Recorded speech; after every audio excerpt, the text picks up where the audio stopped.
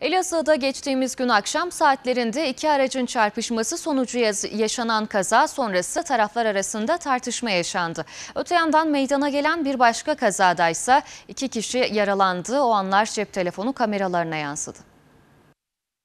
Elazığ'da geçtiğimiz akşam Korgeneral Hulusi Sayın Caddesi'nde trafik kazası meydana geldi. Kazada iki otomobil çarpıştı. Yaşanan kazada yaralanan olmazken taraflar arasında kısa süreli gerginlik yaşandı.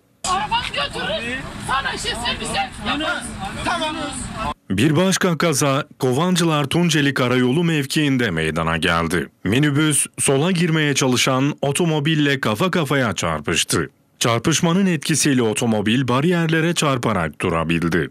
Çevreden geçen diğer sürücülerin haber vermesi üzerine olay yerine sağlık ve güvenlik ekipleri sevk edildi. Kazada yaralanan İY ve CA olay yerinde yapılan ilk müdahalelerinin ardından hastaneye kaldırıldı. Kaza anı ise yolda seyir halinde olan ve araba sürmeyi öğrenen bir arabada alınan cep telefonu kaydına saniye saniye yansıdı.